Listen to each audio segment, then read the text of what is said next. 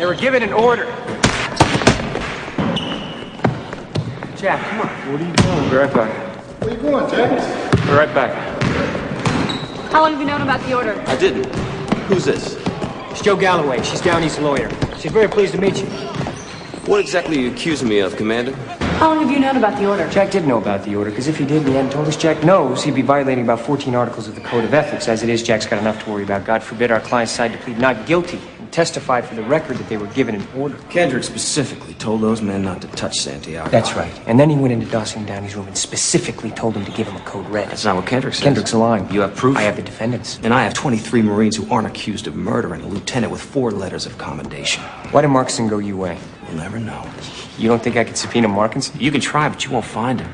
You know what Markinson did for the first 17 of his 26 years in the Corps? Counterintelligence. Markinson's gone. There is no Markinson. Look, Danny. Jessup Star is on the rise.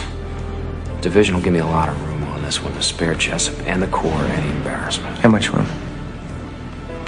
I'll knock it all down to involuntary manslaughter, two years or home in six months. No deal. We're going to court. Jo. No, you're not. Why not? Because you'll lose. And Danny knows it.